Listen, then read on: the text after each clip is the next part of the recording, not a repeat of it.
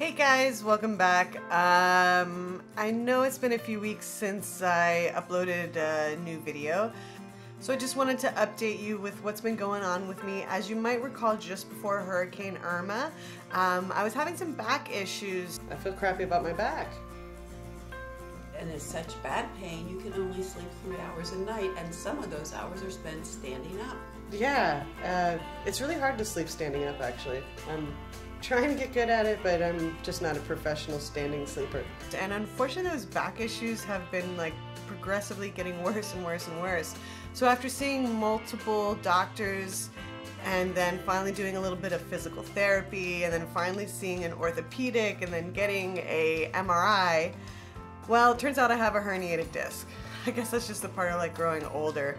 Um, so anyway, so I've been working on trying to get that fixed and we'll see what happens. I do have a meeting today with the orthopedic um, and then this evening I'm actually going to a sports medicine um, physical therapist. So I'm excited to see both of them not because I enjoy going to doctors or doing physical therapy, but um, I'm just excited to get uh, get a grasp on um, on all this stuff. It's extremely painful.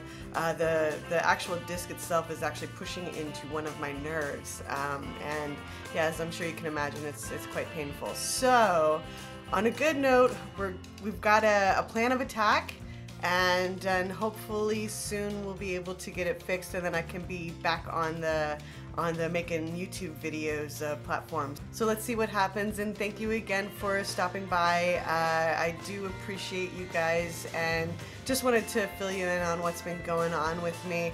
Sorry this is such a short video. I do actually have some uh, great ideas coming up and um, and I'm excited to share that with you but just got to work on myself for, for just a little bit and then I'll be back to doing my, my normal YouTube videos. Alright, thank you so much for stopping by. Really appreciate you. Wish me luck.